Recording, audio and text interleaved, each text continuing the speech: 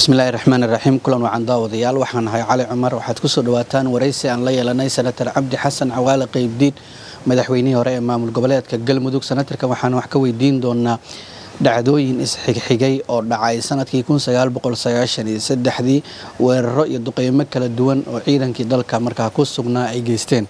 Senatar cabdi aad baan kuusoo dhaweynayaa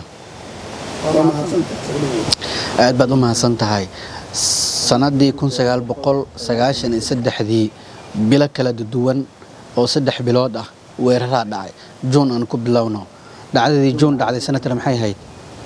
Bismillahi raxmaan raxiim waxay ahayd arrintaasi waxaa ka bilowday shaqaaqadii ay la yimaadeen ciidamadii qaramada magaca qaramada madoobeyd dalkan ku yimid iyadoo loo loo sheegayo inay abaar ba'an oo dalka ka jirtay inay dadka soomaaliyeed mucaawimada gaarsiinayaan.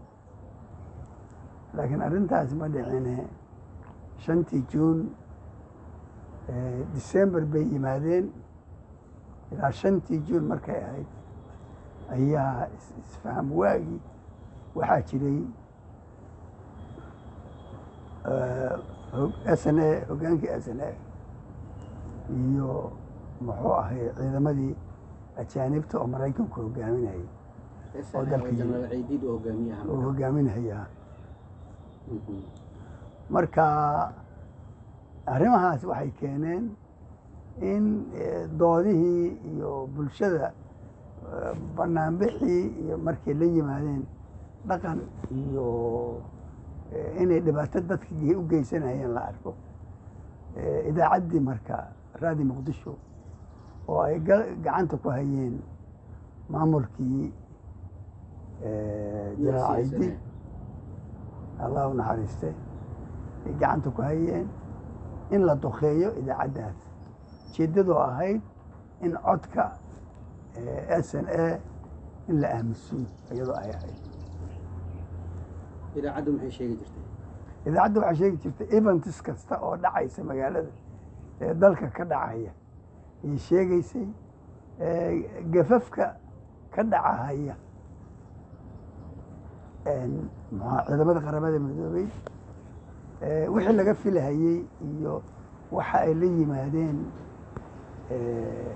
ciidamadii huwanta ahaa oo maraykanku uu hogaaminayay waayahay hadafka aamusin buu ahaa. Duqaynta khasaare intee lagaa ka dhashay oo raadihii ay duqeeyeen? Ma dad baa ku dhintay? Maya dad kuma dhiman laakiin dad waa ku dhaawacmay. Laakiin waxaa way waa way garaaceen. Diyaarado waaweyn baa garaacay.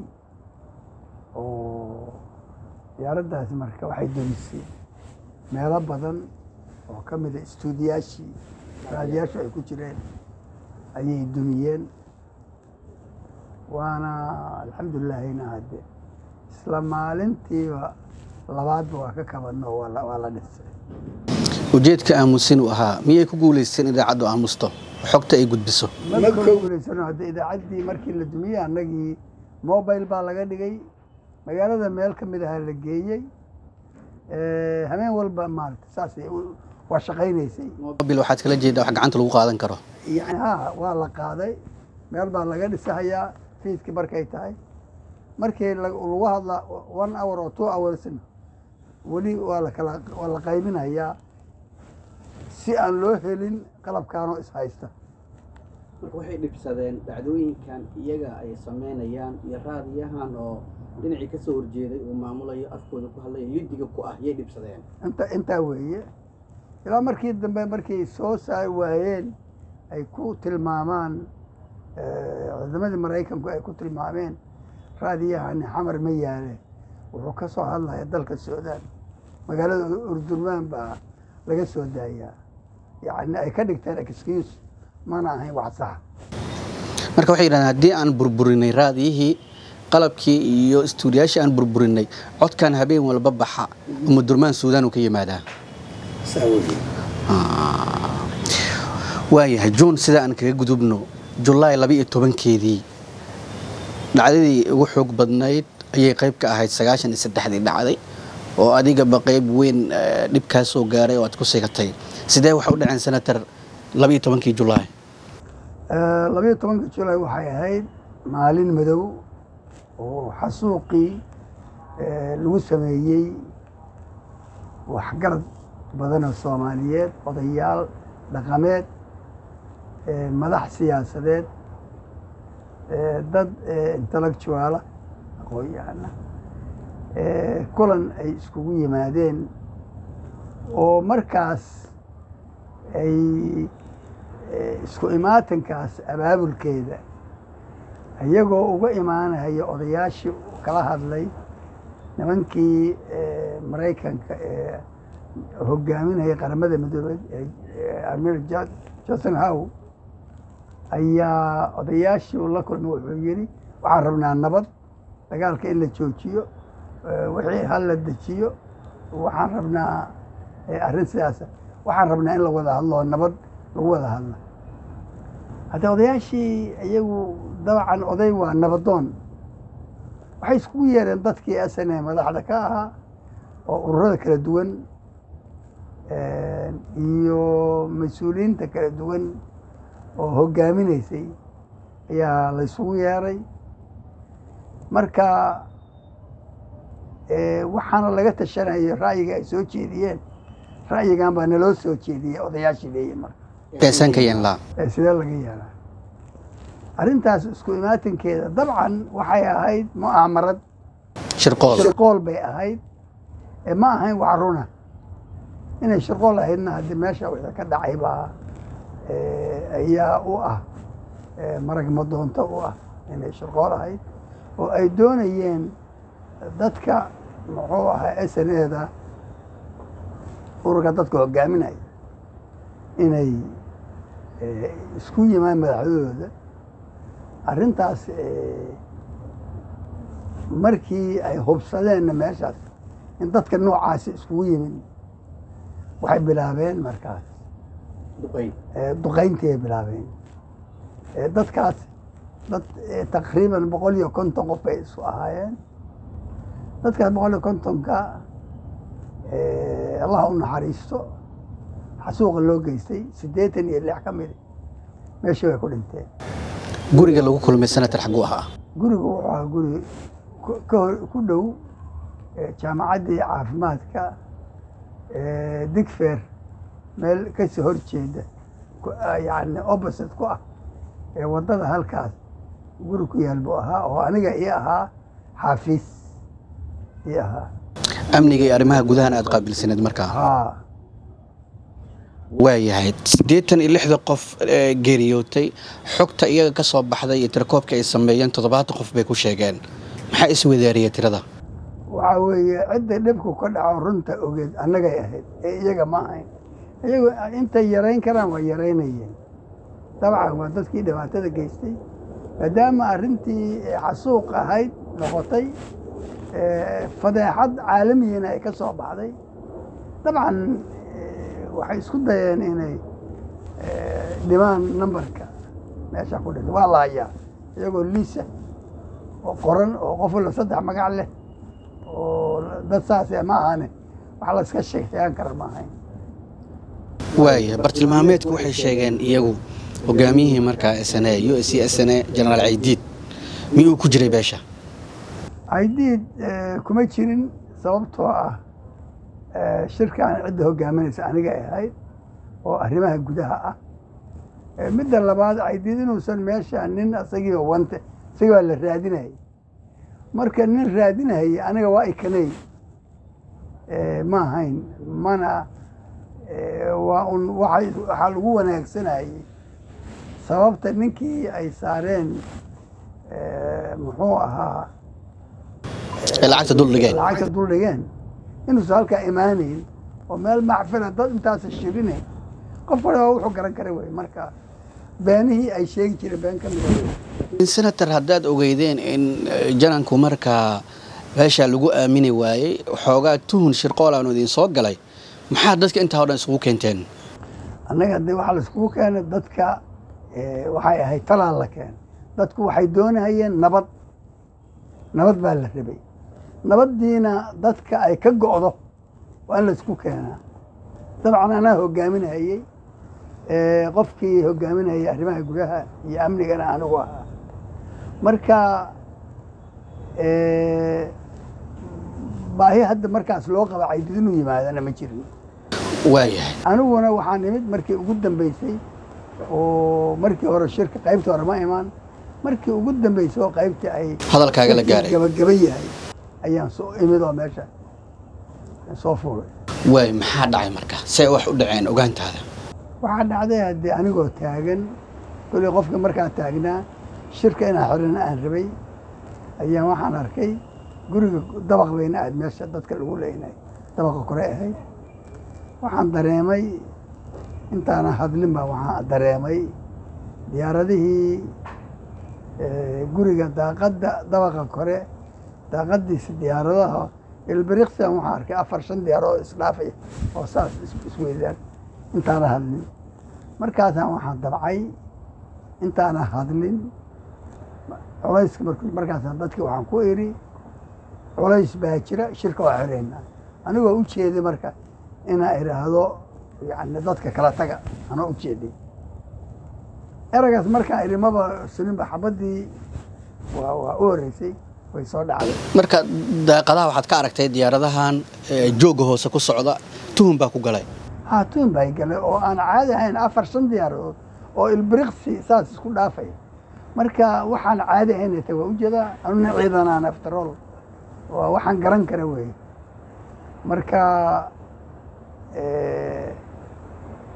saasee markaan ku iri inaan dadka kala diro. Laakiin ma dhicinoo nasiib darro waa waa waa waajibkoodii bay bilaabeen. Dadka inay xasuuqaan oo iyagoo aaminsanaa intaa haddii la laayo in dhibaatadan ka socota s n a muxuu ahayday inay istaagayso waayahay markii aad tiri dadka kala taga tuhunkana uu ku galay. Kala taga maba odhan yacni waxaa aniga waxaan idhi culays baa jira. Aan shirka waa shirka waa soo gaabinaynaa iyo shirka waa xiraynaa labadaas kale markaan idhiba yaa waxaan ugu bilowday weerarkaan ugu bilowday. Waayahay in shirka saacadihii ka horreeyay u socday adiga markaa timid hadalkii qaadatay tiri tuhun baa jira. Warbixin baa lay markaan aniga warka soo istaagay warbixin baa lay siiyey. Saasaan gaarnay kow laba saddex. Intii marka anigu aanan ka jawaabin baan waxaan rabay shirka inaan xiraba. Marka marka aad timid warbixintii lagu siiyey shirka inaad xirta aad go'aansatay iyo duqayntii isla kowsatay ma waxaad tuhunsan tahay qof diyaaradaha hagayey ama ciidankaa hagayey inuu gudaha ku jiray? Waa jira waa oga qof baan raadi taleefon haystay waana la yaqaan qof aan naqaan wey waayo ma ka badbaaday? Maya dhaawac buu noqday iyagii baa soo degay oo qaaday waa soo daaweeyeen. Ka bacdina haddee waadan baa dagaallo kale ku dhintay ka bacdi qofki qof aad taqaaneen beesha dadka la isugu keenay qayaas boqol iyo konton aad ku sheegtay xubin ka mid u ahaa dadkaad keenteen maya qof wuxuu ahaa dadkii bulshada ka mid ahaado oo nin wuxuu ahaa aan ku idhaha sarkaal buu ahaa ciidan buu ahaa. Hadda ka hor magaciis ma sheegteen maya haddana ma raba inaan sheego waa dhintay ninkaas dagaal idinka oo s n a u s a ahaa iyo ciidankii huwanta ahaa udhexeeya ku dhintay. Marka ma dhan dhankaasu ka soo jeeday markuu dagaal ku dhimanayay. Maya maya ka bacdu dhintay asagoo dagaaladii hadda wuxuu dhintay maxaakiimta iyo xilligoodii ayuu dhintay. Markaas maba dhiman waayahay duqayntiyaa bilaabatay sidee wax u dhaceen hoolka gudihiisa? Adiga side sidee wax ku gaareen? Annaga xabadda u horreey markay soo dhacdo haddii awood naga tan weyn baa ku dhacaysa meesha garaacidda anigu markiiba waa miyir beelay dadkii waxaan ku dhex dhacay meesha la laayey baan ku dhex dhacay. Maga ogeyn ilaa iyo muddo un iyagu intay yimaadeen laba nin oo dhaawacay ay qaateen. Oo ninka hadda aad sheegtay uu ku jiray? Oo ninkaas aan sheega uu ku jiray yay qaateen. Ka bacdina waardiya waxay ka qabteen dadkii meesha ku jiray. In dadka la-aye in badanoo waxaa jiray aan jirka ku jira dhimatay oo dad raba inay gurmad noogu yimaadaan oo dadka badbaadiyaan. Gudaha soo galay? Gudaha markay soo galayeen diyaaradihii baa taagan saasaa shan lix helicopter u sinan tahay. Qofkii gelayana waa dilayaan. Qofka ka soo baxayana waa dilayaan. Sidee ku soo baxsatay? Waxaan soo miirsaday iyagoo dad dadkii soo galo oo horeeyey iyagoo dhiman soo gala gabar. Ay soo gashay. Way hurday sida hurdayga kicisay anigii markaa saas kicisay waa soo toos. Waxaan arkay inaan waa gubtay dabcan dhaawac badan waa igu yaal anigana waa dubka iga dhacay laakiin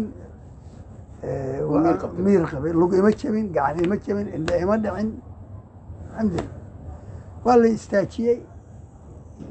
Markii dambe aan inaan meeshii degana gacanta ay qabatana dhaqaaqii markay arkeen gabadhii iyo aniga iyo gantaal kale ku dhiftay gabadhii anaga ku dhaawacantay iyada marka anigu ay qaadi waay. Awal iyada ay waday aniguna markii dambe waa qaadi waaye saasaan anigu u dega marka anoo dhaawaca waa gartay dibaddaad u baxday dhaawac culusna waa ku gaaray oo korkaaga gubtay.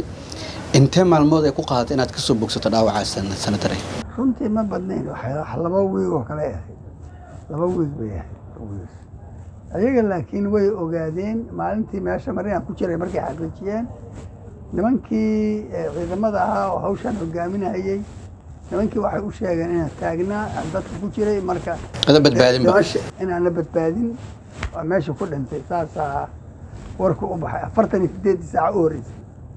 Ka bacdi waxay ogaadeen inaan nolol uga baxay meesha. See ku ogaadeen miyaad hadashay raadi maya. Maya dowladdu ummad ummadda ninka rabaa information. Waa la helaya waxaa meel dheer laga daadimaya waayahay dhacdada laba iyo tobankii julaay ahayd saasay ku soo afjarantay duqayntaana saa ay u geysteen. Dadkiina halkaasay maxaa la yidhaahdaa ku xasuuqeen. Wax ka garaawsho ah miyaa jirtay maya ma jirin. Ilaa iyo hadda ma jirto wax garawshi ah. Waxaan keliya oo un ognahay in uu dembi dhacay in qaramada midoobeed ay diwaan geliyeen. Arrintaasna waxaan ogsoonahay in la yidhi markii hantidii la baabi'iyey dad baa hantiyahoodii la baabi'iyey dad baa la laaya tiro badan in la yidhi magdhow ha laga bixiyo laakiin waxay decision bay ahayd go'aan bay ahayd. Laakiin lama hayo ilaa hadda arrintaas iyada. Lama bixinin waaya halkaas aan kaga harno laba iyo tobankii julaay waxaa xigtay dhacdadii kale ee saddexdii oktoobar duqayn iyadana sidaa oo kale oo weliba ka culus inay ka dhacday agaarka suuqa bakaaraha. Weliba taa la sheegay in jananka ugu jiray sidee u dhacday saddexdii oktoobar? Saddex oktoobar waxay u dhacday markay ahayd galabtii tiro o'clock saddex saddexda galabnimo markay tahay sagaal saac. Ayaa waxay heleen information dad s n edahi oo madaxay ay ku shirhayeen ayaa waxaa information loogu sheegay in jenaraal caydid imaanayo waa bukaare dhexdooday ahayd ma jirin taas iyaduna ma jirin. Caydidna ma imaan gurigana kuma jirin. Dadkaas meesha galay markii meeshii la galayna waxay ku soo degeen intaysan xabad bilaaban. Guriga korkiisa waxay ku degeen. Barashuud ku degeen helicobter intay soo qaateen ku daadiyeen. Ka bacdi kuwii kalena eriyadiibay waxay bilaabeen inay xabadayn si ciidankan meesha ay ku dejiyeen loo badbaadiyey. Anugu markaa iridkan taagnaa waa ka tegey baabuurkaygii markaa waa yar dhaqaaqay. Baabuurkii baa waxaa qabsaday xabado waa iskaga degey. Lug baan uga baxay. Dadka beesha ku haray yaa ugu sarreeyey marka haddii jananku ku jira adigana aad ka baxday yaa joogay waxaa joogay rag badan oo mudanayaal baa joogay oo eh, ragna ku dhintay. Waxaa ka mid ahaa nin le profesor cawaalaa ka mid ahaa waxaa ka mid ahaa cumar saga cumar salaad cilmi ayaa ka mid ahaa oo raggii madaxdii hore oo qaranka dowladda hore oo soo shaqaynaya Eh, waxaa ka mid ah rag aan yarayn bay ahay ma yarayn. Laakiin raggaas waxna waa la qabtay waxna meeshii intii wax la eh, meesha weerarayeen bay ka baxeen. Laakiin qayb ka mida waa la qabtay. Waa sababta keentay marka dadkii baabuurtii wixii ay meesha ku qabteen waa in baabuuri u timaado soo maha wax qaada baabuurtii qaadi lahayd waa waxay la kulmeen. Hor istaag. Hor istaag waa lala diriiray dhinac walbo ay ka imaan lahaayeen waa lala diriiray markii dambe si dhibay ku soo galeen markay soo saareen raggiina. Hadde waa bixi waayeen masana dhibaatadaasi ilaa iyo un habeenkii goor un dambe wixii dhici kare ka baxay. Ayagu marka maxay ciidankii meesha ku soo daatay. Ma ay yani inay laabtaan oo diyaaraddii diyaarad waatay dhaceen laba diyaarad waa dhaceen galabtaas. Laba diyaarad markay dhaceen ciidankii soo daatay diyaaradihii waxay isku dayayaan ciidankan meesha inay ku badbaadiyaan. Halkaasaa marka dagaalka ugu xoogani inay marka dadkii laayaan aragti u laayaan wax alla wixii jidadkaas ay arkaan diyaaradihii helicopteriska inay laayaan. Ilaa laga ga- marka meeshii maxaa marka si ay nimanka u badbaadiyaan dugsi qur'aanoo meesha ku yiili ardadii ku jirtay ayay ardada qabsadeen si ay ardada ka dhigtaan. Difaac uga dhigtaan. Difaac uga dhigtaan. Oo dadku aan loo weerarin saasaa marka ilaa dagaalkaasi wuxuu socday ilaa shantii aroortii subaxii dambe markii la gaaray baan annagu culays dhimashaduna markaas ilaa toddobaatan iyo dhowr qof aan marayno dhimatay. Maantaas waxaan go'aansanay waxa ay meesha ku haystaan ha baxeen iyaga laftigoodii dhibaataa qabsatay midana haystoo kala haysta. Meeqa ka dhimatay ayaa dad badan maanta ayaga waxay sheegaan. Sideed tobanay sheegaan. Haddee waxaas annaga intaas ma ahayn iyo wax annaga afka iyaga ma. Annaga toddobaatana galabtaas iyo dhowr baa ku dhimatay dadka soomaalida oo meeshaas. Dad iska masaakiin oo jidka marayay qof walba la iska laynayo aragti loo laynayo qofkii dhaqaaqayo la is leeyahay meeshaan u soo socdaaba waa la dilaya waayahay. Dadka ay qafaasheen mm, tiradooda meeqay dhammayd oo ay u suurta gashay inay la baxaan. Adigu hadda ma xasu raggaas hadda shaksiyaadkaasaan ka garanayaa hadda waaweyn oo siyaasiyiinta ah labadaas nin baan markii ka garanaya. Intay ku dambeeyeen marka?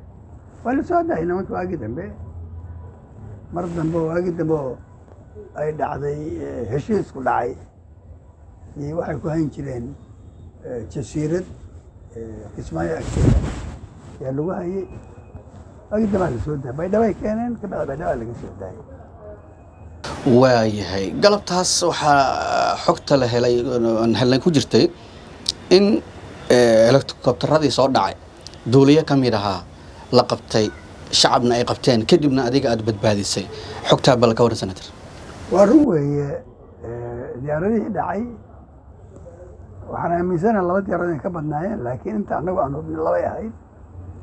Diyaarad ka mida waxay ku dhacday wardhiigley degmada wardhiigley markay ku dhacdayna markaasna jidkan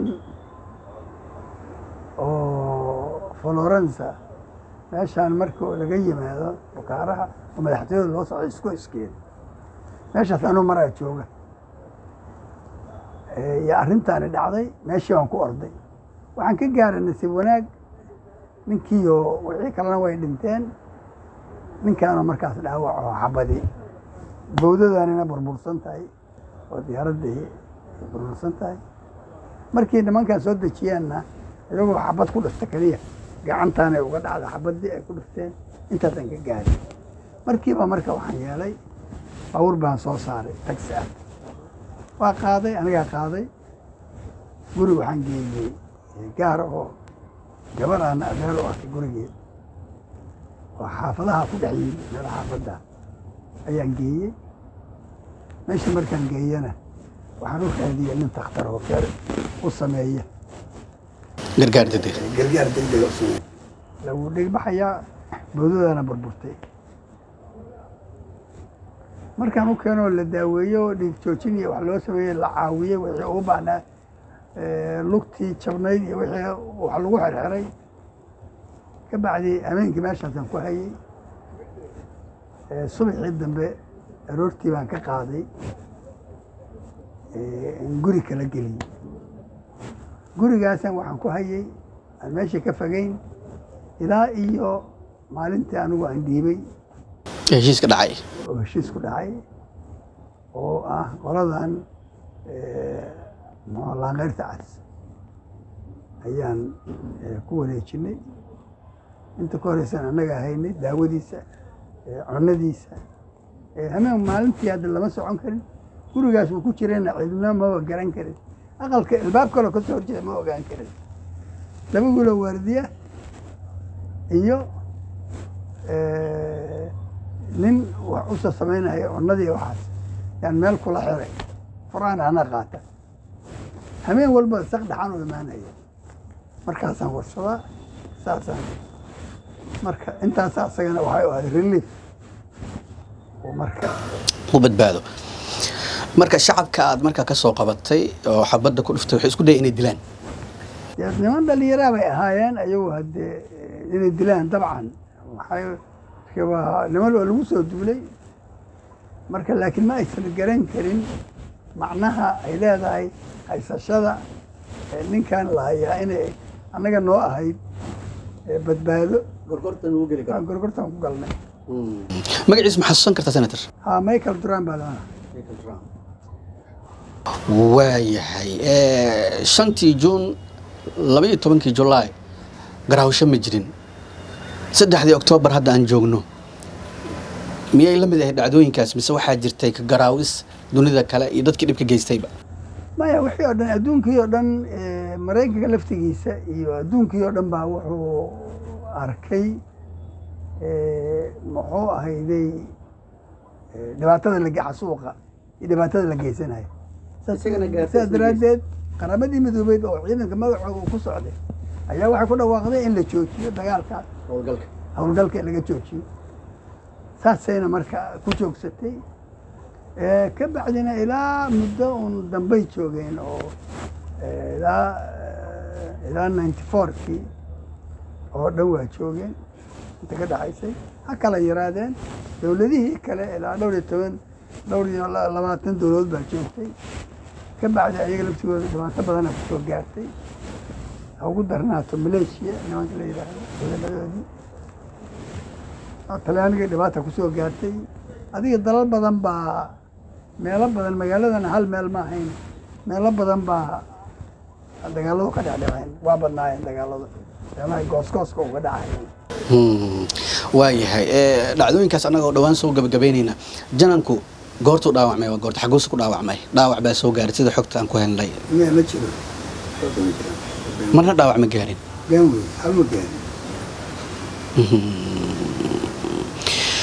Waayahay xogtaas intaas aan ku ekayna wixii la soo marayba aad iyo aad baan kugu mahad celinaynaa senator cabdi xasan cawaale qaybdiid weliba waxaan daawadayaasha xasuusinaynaa waraysigan aan qaadayno waa julaay weliba dhowr iyo tobankeeda waxay ku dhowdahay laba iyo tobankii julaay oo dhacdada markaa ay dhacday. Waan kuu mahad celinaya senator waxaan gelaynaa waraysiga qaybta kale oo aan markaan samaynayno. Dowlad cusub oo dalka yeeshay senator madaxweyne xasan sheikhaa dib u soo laabtay. Afartii sano ee degtay ama shantii sano senator baad ahayd. Senator kalead soo noqotay dibaa lagu soo doortay dowladdii madaxweyne farmaajo uu hogaaminayay shanta sane. Maxaad ka aaminsanayd dalka sida u maamuleysay? Soo dhowo runtii waxaan ka aaminsanaa adiguba waa qiyaasi kartaa. Aniga oo xasaanad laho senator ka mid ah ee baarlamaanka federaalka soomaaliya gurigaygii la weeraray la jajabshay dadkaygii la dhibaateeyey dee waad garan kartaa inaan waxaan arkahayaa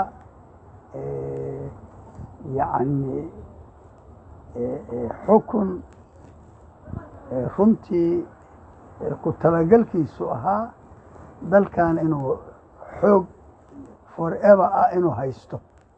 Oo yacni xoog yacni marna aan ku talagelin yaa inuu talada wareejiyo yani habdhaqanku saasuu ahaa yani ilaa bilowgii saasay ahayd. Waayahay senator baad ahayd taariikhda hadda aan soo xusnayna ilaa waagaas iyo ka horba siyaasaddaad ku soo jirtay dib u soo burburkii dowladihii yimid raggii la dagaalay ee argixisla dirirkaad qayb ka ahayd dowladihii kalebaa yimid galmudug aad soo hogaamisay siyaasadda marnamaada ka fadhiisanin shantii sano innagoo weerarka gurigaad lagu soo qaaday u geli doonaa senator cabdi hadalkiisu ma badnayn. Senator maxaa ku aamusiyey wallaahi haddee aamunta waxay ahayd waxaa la rabaa haddaa hadashid warkaagu waa inuu bulshada soomaaliyeed waa inuu wax u taraa. Aniga markii gurigeyga la weeraray oo laygu xadgudbay muxuu ahayday waxaan u dhaqmay si waayeelnima. Ciidan reaction ama jawaab ka bixiya ama dareenkii caradii dadkii aniga muxuu ahaa dadka ka falcelin lahaa anigaa joojiyey anigoo u naxaya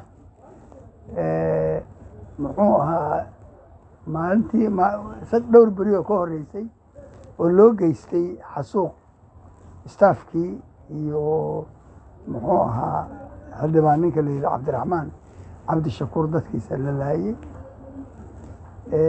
tan lagu daro kulli waxay ahayd provocation.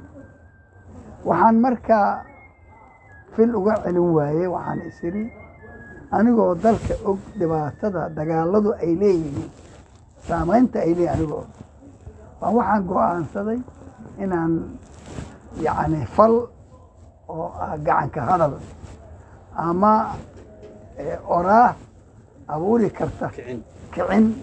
inaanu odran oo aan u daaye war sharcigaa baaraya iyo waa la baarayaa yaan ku ekaaday. Maantaas ciidamadii ama ka yimid ka soo baxay nimanka la yidhaahdo imaraadka oo iyagu ay ayagu gacanta ku hayeen. Ama ha noqoto dowladdii soomaaliyeed oo arrintan iyadoo hogaaminaysay waxaan u tura dadka soomaaliyeed inaanan qalalaase inaan dariiq sharciga wax ku raadiyo saasaan meeshaan maadaama aan ogahay saamaynta ay keeni karto dagaal iyo gacanka hadal iyo markuu yimaado reaction waxa ka dambeynaya anigoo waayo arag u ah. Senator weerarkaas kudhiis aan u galno yay tahay cidda guriga soo weerartay. Maalintii warbaahintaad la hadashay falxun inuu guriga ka dhacay alaab xitaa la qaatay gabdhihii guriga jooga suuliga lagu jibiyey yaa xogta ku bixisay. Kadibna laguma arkin. Cidda guriga soo weerartay yay ahayd. Cidda soo weerartay waxay ahayd markii waxaa la oran karaya ciidamo ay maamulaan imaraadkay ahaayeen. Laakiin baaristii dambe oo la sameeyey waxaa caddaatay in arrintaasi dowladdii soomaaliyeed ee jirtay xilligaas inay arrinta iyadu abaabusho ka shaqaysay ka dambaysay yaa ii caddaatay. Baaristii ku soo caddaatay. Maxay sameeyeen ciidan gudaha soo galay ciidankata waxay sameeyeen waxay raadinahayeen ganjeelka horey soo jabiyeen labadii wiil bay ganjeelka ku dhifteen nin waa jabay sintaanu ka jabay isbitaalku ooli jiray. Ninna qorigii bay ka qaateenoo waa ka taxireen. Way soo kaceen. Guriga labadiisa albaab dhinaca kii dhinaca sokaba way jabsheen. Markay jabiyeenna ambulance ay wateen bay guriga ku soo callaqeen. Iyagoo u jeeda aniga inay meydkayga markay isdilaan iyagoo u haysta inaan anigu ya. Inaad isdifaacayso maya in aniga yacni guriga markii aniga lay dilo ay ambalaas aan cidina arag ee aniga laygu qaado. Ayay guriga u burburiyeen intaa u sameeyeen. Aniga markii lay waayona oo wixii ay kala barantana hadde waxay iyaguna marka lafahoodii la cararaan oo dib u baxaan bay noqotay. Ila mishinka ay u socdeen. Ma ahayn guri jebin iyo albaab jebin qof baa loo soo diray dilkii. Maxay ahayd sababta marka lagugu dilayo lagugu raadsanayo? Maxay ahayd? Maxaa u fahantay markaad baarista samaysay tuhunse ma qabtay in weerarkaa dhici karo. Anigu ma qabin intuu noocaasi weerar noocaasi inuu dhici karo. Laakiin way dhacday mana wax qarsoone waxaa ka hadlay baarlamaankii anigu waan ka tirsanaa. Waxay ka soo saareen bayaan. Waxaan ka hadlay waxaa la qabtay guddi. Guddi markii hore baarista labiiyo toban sarkaal baa loo diray. Waxay soo caddeeyeen dembiga siduu u dhacay. Waxay soo caddeeyeen inay ahayd mu'aamarad. Sharqool inuu ahaa bay caddeeyeen. In aniga lagu qaarijiye ay ahayd. Intaasoo dhan markii la caddeeyena dee dabcan xukunkii jiray. Afartan iyo labadii afartankii nin oo kayska fulinay oo ciidanka dowladda soomaalida ahaa laakiin ay hayeen nimankan yaa la isticmaalay. Iyadoo la rabay in laska iyagu soomaalidu maamulkeeda xukuumaddu inay iska durjiso. Ayay waxay isticmaaleen nimankan oo ay leeyihiin qof argagixisa halkan ku jira waxaan rabaa gacan naga siiya. Adinka ciidamo fiican oo diyaarsanaya marka markii dambe oo baarlamaankii iyo wixii ay gaartana waxay noqotay labadii aqal oo baarlamaanka inay arrinta qabtaan guddiyaal isku dhafa oo koob iyo toban xubnoodaa la qabtay. Si arrintaas loo horgeeyo baarlamaanka markii ay suurtogeli waad muddo ka bacdi ayaa mooshin waxaa geeyey labiyo labaatan xubnood oo labada aqal ka kooban in barnaamijkan kayskan in la geeyo. Wixiina waa qoranyi waa hayaa wixii dhan dokumentigiina waa hayaa ma dhumin. Waa yaal. In la geeyo baarlamaanka laga hor akriyo arrintaasna waxaa hor istaagay hogaamiyihii markaas ninkii muxuu ahaa baarlamaanka golaha shacabka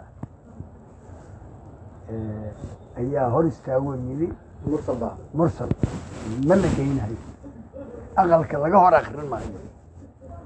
Labadii aqal baana socday guddi dad isku dhafaa soo labadii aqal kulankoodii bay ahayd la isku keenay. Arrinta waa dhici weyda annagoo aaminsan cidda ka dambaysa ahayd colayskaa saaraysa inay ahayd madaxdii dalka. Ma weydiisay mursal sababta u diiday in baarlamaanka looga hor akriyo maxaan ka weydiinaya waaba anaa ujeeda weydiinba midaa u baahan in la saaray barayshar lagu sameeyey.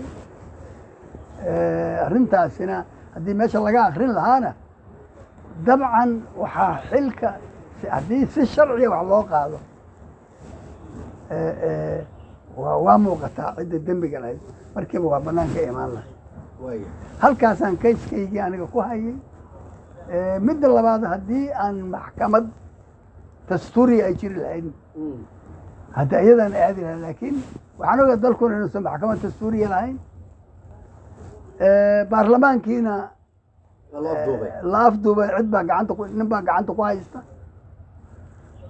Marka waxay noqotay inaan ilaa ilaahay hadduu idmo inta awood loo helayo inaan sugo aniga aan helayno meesha ay ku habboon tahay. Waayahay senator cabdi waxaan rabaa weerar noocaas oo kale way dhaceen.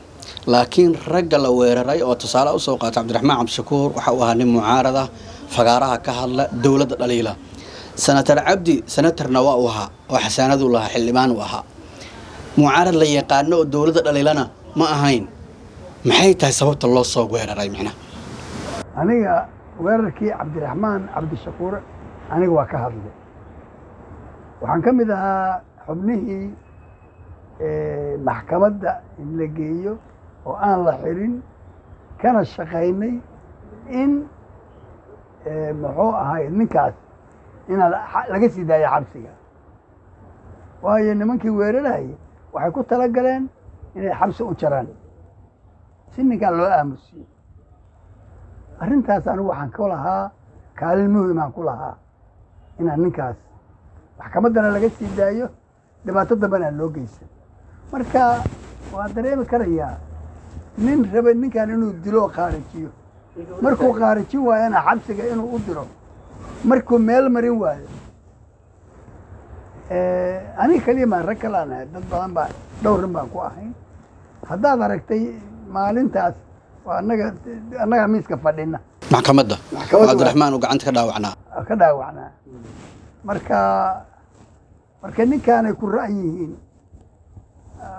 waan saas ra'yigu wuxuu noqonaya marka weerarka gurigaaga lagu soo qaaday dhibaatada lagu geystay shirqool xitaa inta lagu dilo ambulance lagugu qariyo aad hadda ku sheegtay ma keliya cabdiraxmaan oo garab istaagay ba ahayd sida aad u fasirtay.